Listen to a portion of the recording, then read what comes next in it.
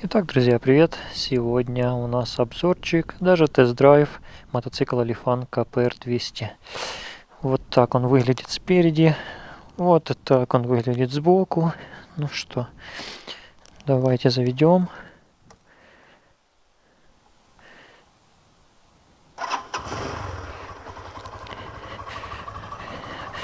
Очень интересная особенность этого мотоцикла, его фара.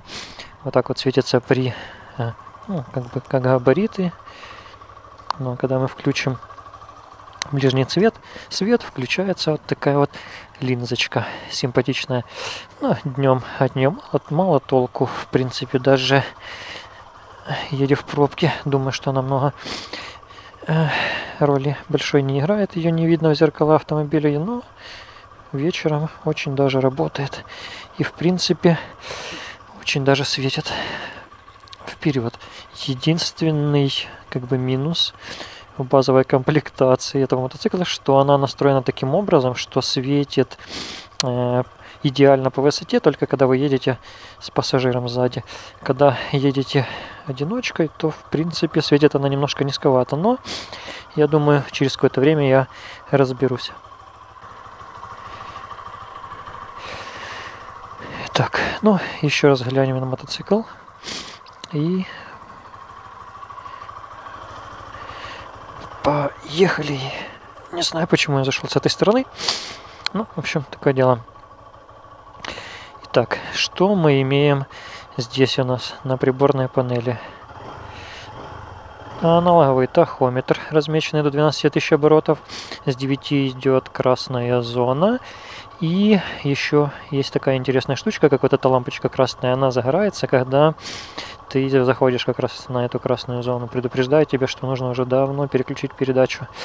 В принципе, я думаю, как раз начать стоило с того, что сделать вот так вот, включить зажигание, как раз компьютер проходит кружочек, как бы делает тест, и таким вот, так вот мы заводим мотоцикл. Единственное, что э, чтобы его завести нормально, даже когда он уже прогретый, нужно просто немножко подгазнуть. То есть я это делаю таким вот образом. Чик, немножко подгазнул, все. Он выходит на свои 1500 оборотов со времени, когда прогретый. Чтобы завести его на холодную, есть вот такая вот штучка, но на самом деле э, она практически, практически не работает. Не знаю, какой в нее смысл. Э, хорошо видно ее работу этого подсосика, когда ты заводишь еще на холодную-холодную, когда прям аж вот так вот. Вы видите, как если только сильно-сильно на нее нажать, тогда есть какой-то смысл. А так, в принципе, вот это у нее, можно сказать, холостой ход такой. Ну, в принципе, даже сейчас на улице около 10 градусов, у меня сопельки, но он и так нормально прогревается. Так, что у нас здесь? Нету, ну, как бы на э, переключателях, в принципе, все стандартно. Нету света, габарит и свет. Управление двигателем, глушилка двигателя. С этой стороны поворотнички. Левый я уже начал показывать. Правый. Указатель светится тут. Выключаем его. Ну, ближний и дальний здесь. И вот сигнал и вот блымалка дальнего света тоже, кстати, работает все прекрасно. Мотоцикл прошел ну, 2465 километров, практически 2500 на данный момент. И, в принципе, нареканий у меня на его работу нету. Ну, как бы и не должно быть, все-таки это Лифан. Э, когда мы сейчас включим первую передачу, то здесь как раз у нас появится обозначение, что включена первая передача. Передачи, как у ну, по классической модели, первая вниз, а остальные вверх. Вот так вот на месте иногда, пока он не прогретый, тяжело э, переключать. Нейтралочку найти на холодную очень легко. Ну и чем дольше прогревается, чем больше прогревается мотоцикл, тем все труднее и труднее. Ну, в принципе, э, я подтянул сцепление, сделал и холостой ход такой более-не-менее нормальный. Ну, короче говоря, под, подрегулировал сцепление, тросик и переключению нареканий нету. Иногда, конечно, ну, бывает такое, что тяжело включить первую, особенно на нейтралочку, но если ты его чуть-чуть прокатишь, ну, в общем, как всегда, она включается нормально. Еще хочется немножко пару слов поговорить про зеркала. Если честно, мне они не очень нравятся. Во-первых, э, не видно нифига, что творится сзади при таком расположении зеркал. Э, они регулируются в несколько... Супер, нажал кнопочку. Зеркала регулируются получается в, дву, в двух местах. Вот сюда вот вперед-назад регулируется. И еще вот тут шарнирчик такой, который принципе само зеркало регули, регулирует. Мне удобнее всего вот такое положение, когда зеркало ближе всего, потому что так, по крайней мере, я вижу, что творится сзади. А когда я это вижу, когда немножко приподнимаю руку, потому что так, на самом деле, что творится сзади, не очень сильно и видно. Вот, э, зеркало достаточно плотненько сидят, несмотря на то, что это крепление уже шатается. Вот, но нужно, кстати, глянуть с этой стороны все нормально, с этой шатается. Видно от каких-то вибраций. Но ничего, отрегулируем. Итак, что, можно выдвигаться потихонечку, выключим свет. И, в принципе, наверное, сейчас мы сразу выйдем на ровную дорожку и попробуем разогнаться до сотни сразу же. Мотоцикл уже более-менее прогретый. Камера включена. Поехали, что ли?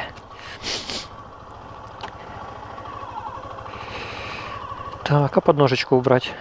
Подножечку убрать тоже нужно.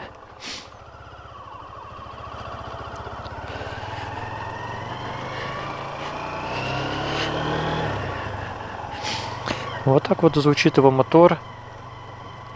В принципе, на данном пробеге пока никаких посторонних шумов нету. Ну что, стали. Вот у нас такая ровненькая дорожка. Немножко, конечно, поднимается в маленькую горку. Но давайте сейчас посмотрим приблизительно его разгон до сотни. Ну что, сзади машина. Ну ничего, сейчас мы разгоняемся туда. Итак, поехали. Раз, два, три.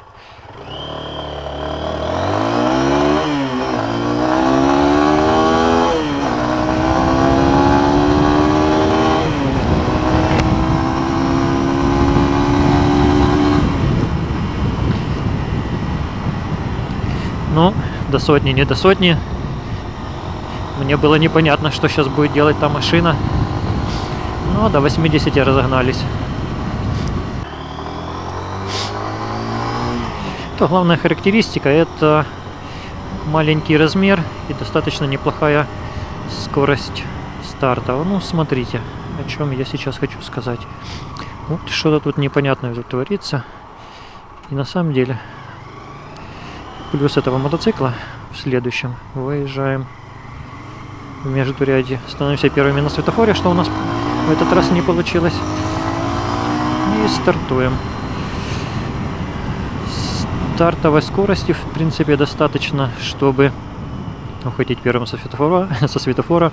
Достаточно, чтобы бодаться в скорости с некоторыми мотоциклами.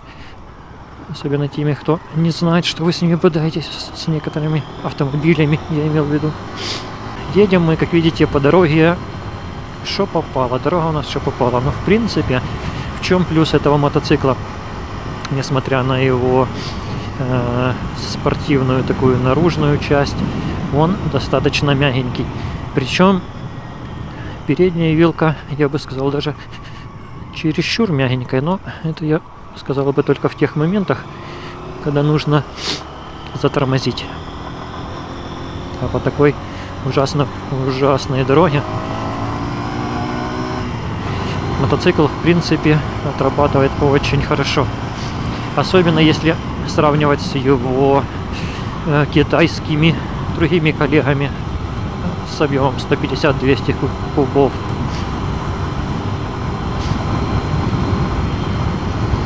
Сейчас мы едем со скоростью 75 км в час и в принципе на пятой передаче прекрасно. Он справляется со всеми неровностями. Причем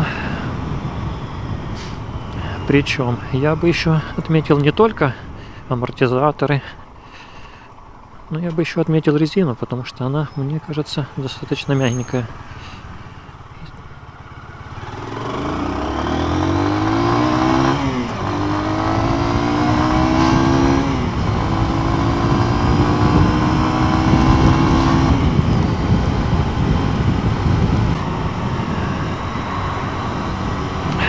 Еще по подвесочке э, она очень мягенькая, очень мягенькая для одного человека. Но если посадить с собой пассажира, то, особенно такого килограмм под 70, то в принципе мне кажется, что ее уже немножко и не хватает. Потому что на таких вот неровностях, где ямочки, где-то какие-то, может, швы на дороге, где-то вот как люк только что был, то в такие моменты уже э, пружина складывается полностью, и мотоцикл достает отбойником до... Ну, короче, достает отбойником, складывается полностью. И немножко некомфортно, конечно, ехать. Это очень непривычно. Но, с другой стороны, есть и плюс. Этот, эта подвесочка имеет три положения, ее можно будет отрегулировать, чем я вскоре и займусь. Я думаю, что сниму на этот, по этому поводу отдельное видео. Так, непонятно, есть пешеходы? Нету, вроде бы нету. Итак, вот я сейчас стартую с четвертой передачи. Начинал крутить, наверное, с 30. И сразу же напрашивается вывод о том, что этот мотоцикл эм, снизов работает не очень охотно. Сейчас повернем, я вам еще раз продемонстрирую. Остаемся на пятой, сейчас посмотрим. Сейчас посмотрим, что у нас тут. Ага, ну, на третью автоматом переключился, но давайте с четвертой. Получается 2000 оборотов. Не хочет, не хочет. Ой, как не хочет. И вот где-то вот тут уже с 5 он прям хочет работать. То есть, в принципе, с 5 и где-то до 8 тысяч оборотов он работает очень уверенно.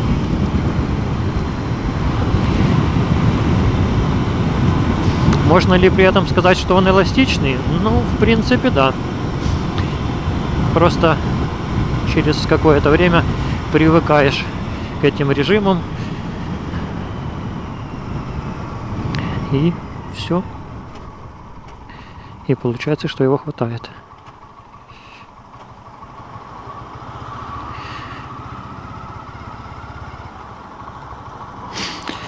Так, нейтралочку, как я говорил, в принципе, я достаточно легко нашел здесь.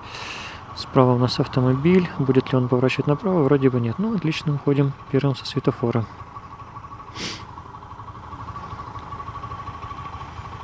Вот, а теперь вот первый было включить тяжело, пока не крутнулся.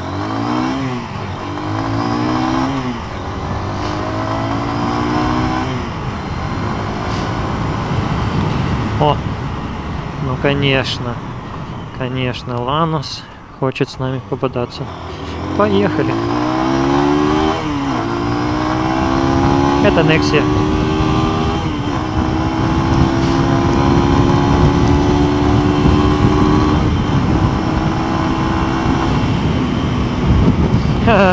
Как ни странно, у него это получилось.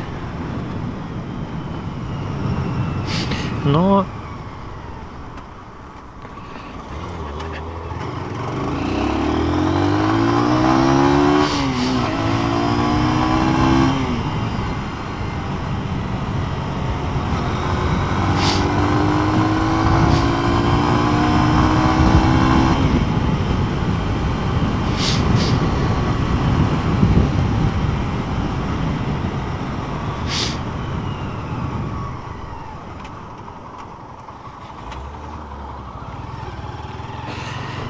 Ну что же, спасибо Nexi, что показала всю мощь этого мотоцикла. 200 кубов, 17,5 лошадиных сил по паспорту, 17 ньютонометров крутящий момент. И мы видим, что, э, ну это, конечно, не со старта, но если стартовать с, если стартовать ходом, то в принципе Он меня, ну не то, что он меня сделал, но мы ехали где-то вровень. Я выкрутил ручку практически ну, по максимуму, держал там мотоцикл, докручивал до 10 тысяч. И, в принципе, немножко таки сел на жопу. Вот так вот, вот так вот. Будем знать. Ездил я на нем и за городом. И, в принципе, подвесочка меня удивила. Дороги у нас за городом тоже не везде хорошие. Э, еще меня больше удивила его крейсерская скорость. Вначале я так, скажем, стеснялся, ехал 80-90 и 90 км в час это на тахометре на шестой передаче 6000 оборотов. Но потом немножко посмелел, уже понял, что он может и э, в принципе так скажу, 100 км в час достаточно хорошая скорость для этого мотоцикла. Особенно, ну, как бы 90-100. Это его крейсер. Можно ехать там 105-106, чем я и воспользовался, в принципе. Но было, ну, как бы было достаточно удобно. Ну что, вот такой вот мотоцикл. Так как у меня гараж на окраине, давайте сразу же покажу вам, как он ведет себя на бездорожье, потому что дорога к моему гаражу, по гаражному кооперативу, это что-то с чем-то. Сейчас мы выйдем на эту волшебную дорогу между гаражами, которая когда-то была хорошая, а сейчас там просто кошмар, особенно зимой и после дождика. Вот эти вот все неровности заполняются водичкой и стоит она долго-долго. Так вот, эм, а когда дождика нету, то вот и оно все нормально высыхает, то тут песочек, прям песочек-песочек. И особенно вот в этих местах, вот тут кто-то насыпал песочка.